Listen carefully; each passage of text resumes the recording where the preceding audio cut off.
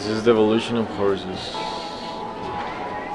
Since Charles Darwin introduced his theory of evolution more than a century ago, evolution has become the concept that unifies all the biological sciences.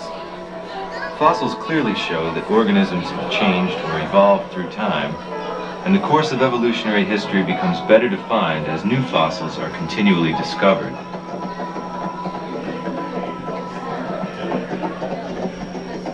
Familiar example of the evidence of evolution is the unusually complete fossil record of horses, which extends back more than 50 million years to the earliest recognizable member of the horse family, Hyracotherium.